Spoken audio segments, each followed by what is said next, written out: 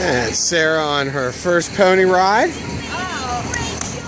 All right, Sarah Bear. Yeah. Hey, good wave, Sarah. All right, Sarah, an old pro at this point. you like horses? Okay. And Sarah's first ride.